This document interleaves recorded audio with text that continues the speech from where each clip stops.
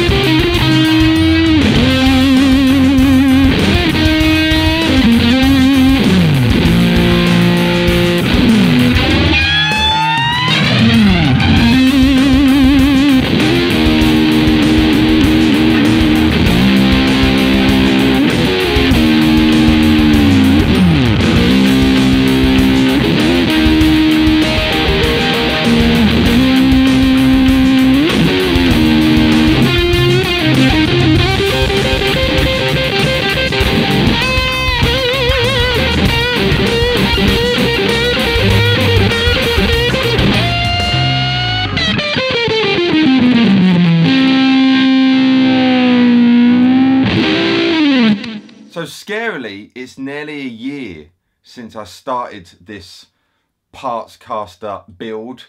And if you're new to me, this is your first video, go and check out the others. I've got a playlist together. I'll, there'll be something popping up or, or um, there'll be a link below. So do check that out. And you can get the full backstory of what's going on, all right? But yeah, it's knocking on nearly a year ago. I think I posted the video in June last year, early June. So yeah, scarily nearly a year. And I've been loving it. I've uh, I've used it. Obviously, I can't gig properly, um, so it hasn't done any gigs, but it's done a few little jams here and there since things have opened up. And I've used it on quite a few sessions, and I've taken it into a couple of studios as well, just to kind of play it in. And it sounds great. It looks great. I've had lovely feedback from you guys who watch on the tube and people I've done recordings for and stuff. It sounds really cool. But there was one thing what was irking me a little bit, uh, which in the end I just thought it's got to be looked at. And that was the neck. And I think I, I haven't, I don't, shockingly, I don't watch back my old videos. but I think I would have said uh, about the neck, it was, it was a nice chunk here for me, but I was finding it just too wide here. Um, best way of me uh, describing it for myself anyway is kind of like if you had like a Les Paul with the nice thickness there, but then having kind of it be wide almost like Ibanez, you know what I mean? It was that kind of cross-pollination. Uh, that's probably a wrong word to use there, but for me, I was just, it was getting to the point I was just thinking about it all the time.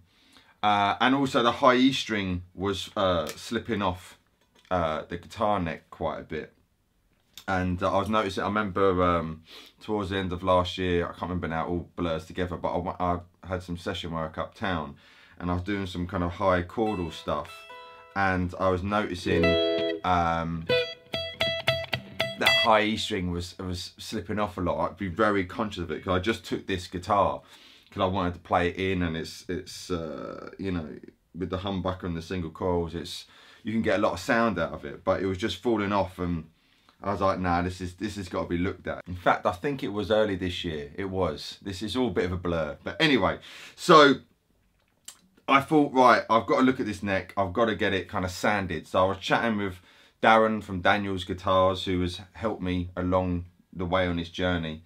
and I said, mate, I'm really sorry, but can you can we do something on this neck? it's, it's just too it's just too wide here. I just want those shoulders taking in a lot more, you know. So there's a lot of talk back and forth, and um, we were going to do a mold of my Telecaster neck, but I was saying to him I don't want it exactly like this because I think it's important for a guitar to have its own unique feel and character. So after talking again back and forth, we decided not to do that. And I said, look, let me be at the workshop with you while you sand the neck and then I can kind of feel it each stages.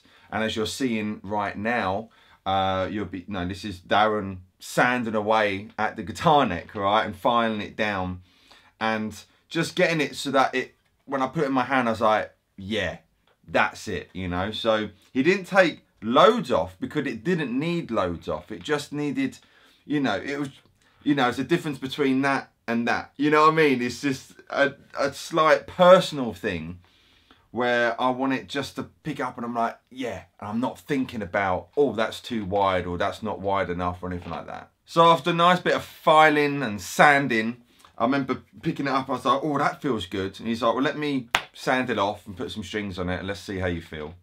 And I was like, I think, I think we have the winner. And I was really tempted. Well, I'm not tempted. I said to him, I was like, oh, I like the idea of not having any finish on the back. And the mad scientist that Darren is, he's like, no, I'm not having that.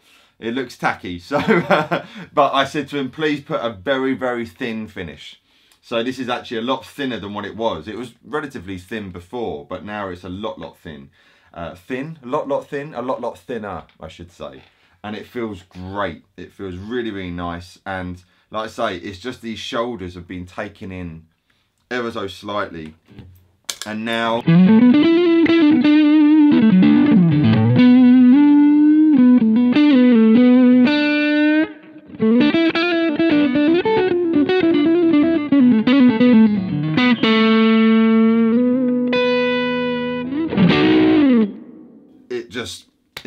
lovely. It's still, it's not a, a, thin neck by any means.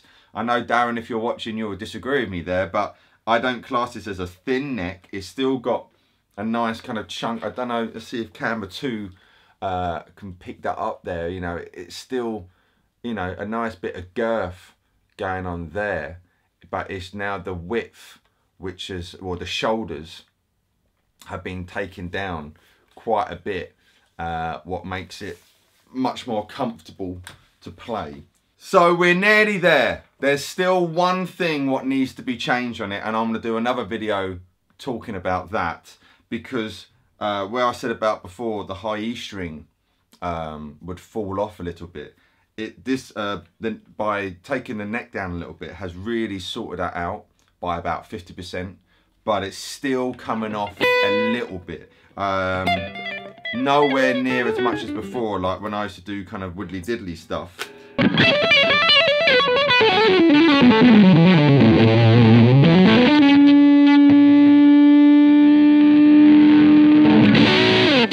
I'm loving fuzz at the moment. Uh, when I do all the widdly diddly stuff, it would uh, it would fall off, and now it's not.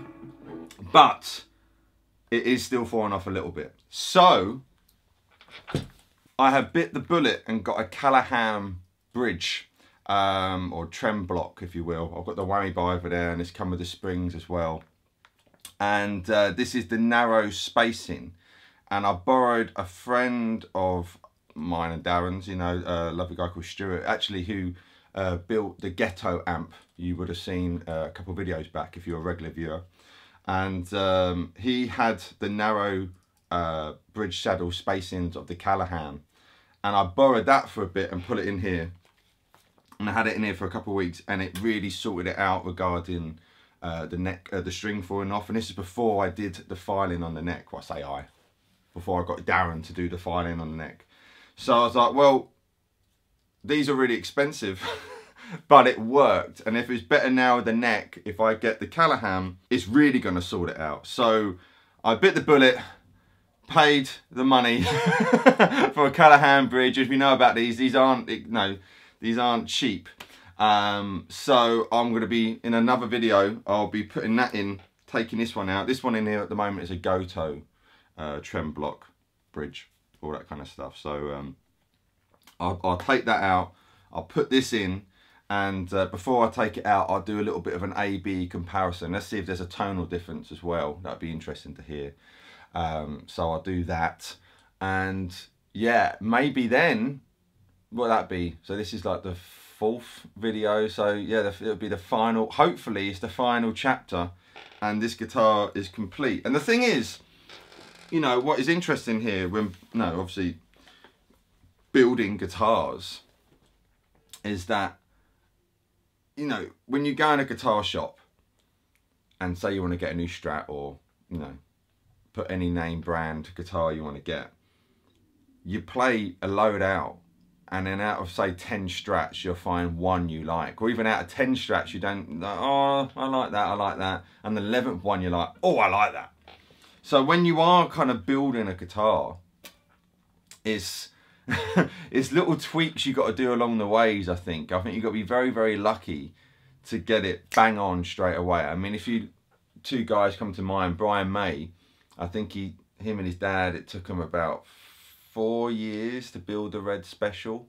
And I imagine he was defining it over and over, you know, getting every single thing right until he was 100% happy with it. And then he ruled the world with the Red Special.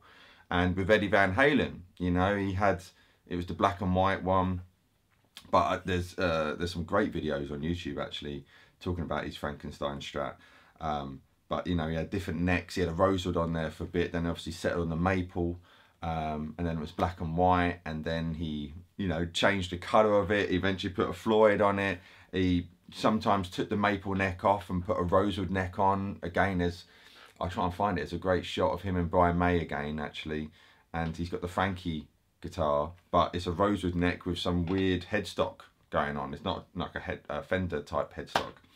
So he's always tweaking as well. Then he'll go back and I think the maple neck in the end, it wasn't the original one. I'm not sure. I, am pretty sure it was not the original maple neck. It's a different one. Or maple fingerboard anyway. My point being, we're tweakers. Guitar players are tweakers. So, you know, I love this. It sounds so cool. But the neck just wasn't 100% to my liking. You know what I mean? So now it's it's so much better. You know, it's still a really good handful, but it's so much better, and the tone's still there. I didn't want to get a new neck because it sounds good. and you often hear that a lot. Like I remember hearing like John Mayer said about his '62 Strat, the the the sunburst with the with the actually similar guard to this. You know, with the wear up there, and he said it's quite a hard guitar to play, I remember reading, but it sounds good, you know, so you need to do a little bit of fight. But this was a hard guitar for me to play, but I was like, I can make it a little bit more playable. But I didn't want to get rid of the neck because the rosewood on it is beautiful and it sounds really, really cool. So hopefully, let me do a few more sounds. I haven't really done much playing. So, um, this, oh, I will say this is really starting to check now. This is checking. It's got some dings. Uh, I put another ding up there recently. It's got some scratches on the back. I don't know if it's picking up the checking. I can't really tell, but trust me, it's really starting to check on here. Um, but uh, here's some sounds. Uh, this is the Vertex Ultraphonix.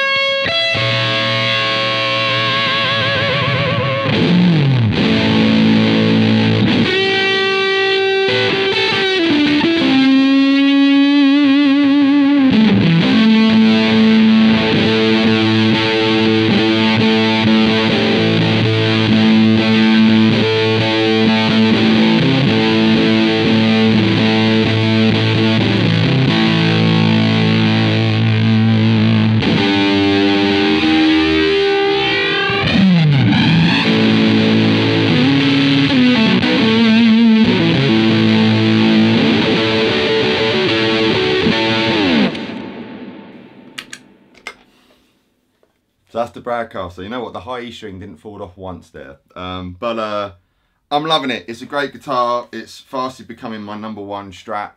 And um, I can't wait to play this live so that, um, because, well, A, just to play it live in general. And also, this is going to wear so great. it really, really is, you know, the proper way, you know, nothing against people who like buying relic guitars, but I like the look of old guitars, but done the old fashioned way of playing them. Anyway, hopefully you enjoyed this. I'm pretty sure people like geeking out on stuff like this as much as I do.